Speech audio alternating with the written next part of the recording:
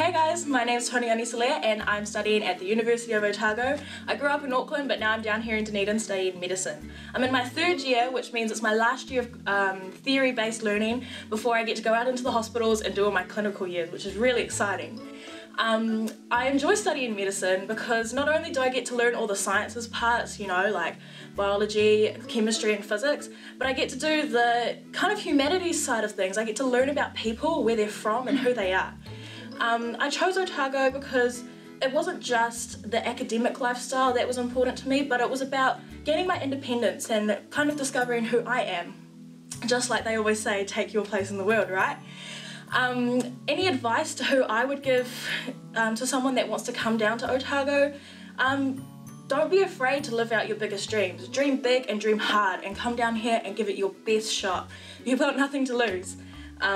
Thanks everyone, and I hope you choose Otago next year. Um, no. Train of thought's gone. yeah, uh, clinical, nope, that's wrong.